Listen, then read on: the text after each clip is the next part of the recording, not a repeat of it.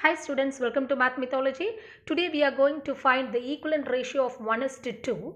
So first you write this ratio in the form of fraction that is write first number on the numerator and the second number on the denominator.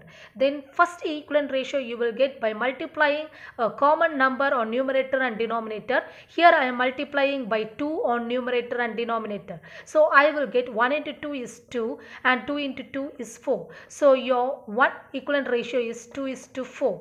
The same way you can find another equivalent ratio by multiplying the another number that is uh, multiplying by 3 on numerator and denominator. So I will get 1 into 3 3, 2 into 3 6. So your ratio is 3 is to 6. Like this you can find any number of equivalent ratio by multiplying common numbers on numerator and denominator. If you like this video please like, share and subscribe my channel. Thank you.